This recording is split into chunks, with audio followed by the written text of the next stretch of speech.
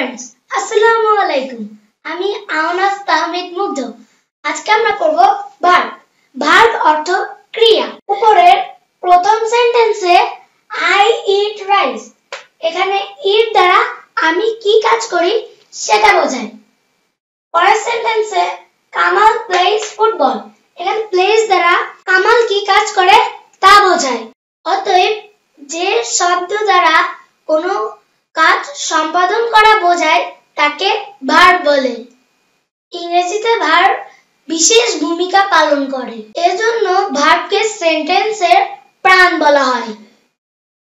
সাধারণত ইংরেজিতে ভার্ব ছাড়া কোনো সেন্টেন্সই হয় না। ভার্বকে প্রধানত দু ভাগে ভাগ করা যায়। এক প্রিন্সিপাল ভার্ব দুই অক্সিলারি ভার্ব যে ভার্বের নিজস্ব অর্থ আছে একাই ব্যবহৃত হতে পারে, তাকে প্রিন্সিপাল ভার্ব বলে। যেমন the girl sings a song the baby is sleeping এই সেন্টেন্স দুটিতে যথাক্রমে সিং এবং স্লিপ প্রিন্সিপাল ভার্ব কারণ তাদের নিজস্ব অর্থ আছে। প্রথম সেন্টেন্সে সিং একমাত্র ভার্ব এবং দ্বিতীয় সেন্টেন্সে স্লিপ সাহায্যকারী ক্রিয়া ইজ এর সহিত ব্যবহৃত হয়েছে। এজন্য তারা প্রিন্সিপাল ভার্ব প্রিন্সিপাল ভার্বকে আবার দু ভাগে ভাগ করা হয়েছে। সেগুলো হলো ট্রানজিটিভ ভার্ব সকর্মক ক্রিয়া এবং ইন্ট্রানজিটিভ ভার্ব অকর্মক ক্রিয়া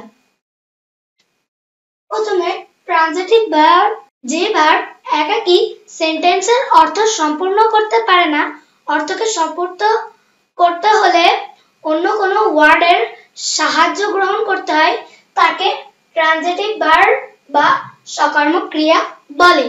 যেমন I drink the boy eats এখানে উপরের প্রথম সেন্টেন্সটিতে প্রশ্ন ওঠে, আমি কি পান করি? এবং দ্বিতীয় সেন্টেন্সটিতে প্রশ্ন ওঠে, বালকটি কি খায়? সেগুলো হলো ইট এবং রাইস উপরের সেন্টেন্স গুলোতে ড্রিঙ্ক এবং ইটস, ভার্ব দুটির টি এবং রাইস অবজেক্ট। এই অবজেক্ট গ্রহণ করায় তারা সম্পূর্ণ অর্থ প্রকাশ করতে পেরেছে। এবার আসে আমরা ইন্ট্রানজিটিভ ভার্ব বা অকর্মক ক্রিয়াতে যে ভার্ব অন্য কোনো ওয়ার্ডের সাহায্য ব্যতীত অর্থাৎ অবজেক্ট গ্রহণ না করে অর্থকে সম্পন্ন করতে পারে, তাকে ইন্ট্রানজিটিভ ভার্ব বা অকর্ম ক্রিয়া বলে। যেমন the girl sings birds fly উপরের সেন্টেন্স দুটিতে সিংস এবং ফ্লাই ভার্বের কার্য সম্পন্ন করতে কোনো অবজেক্ট গ্রহণ করা হয়নি সিংস এবং ফ্লাই ভার্ব দুটি সেন্টেন্সের কার্য সম্পূর্ণরূপে সম্পন্ন করে তাদের অর্থকে সম্পন্ন করতে কোনো অবজেক্টের সাহায্য গ্রহণ করতে হয় না। তাই তারা ইন্টারজেটিভ ভার্ব যে ভার্ব প্রিন্সিপাল ভার্বকে টেন্স মুড ও ভয়েস গঠনে সাহায্য করে, তাকে অক্সিলারি ভার্ব বলে। একে হেল্পিং ভার্ব ও সাহায্যকারী ভার্বও বলা হয়।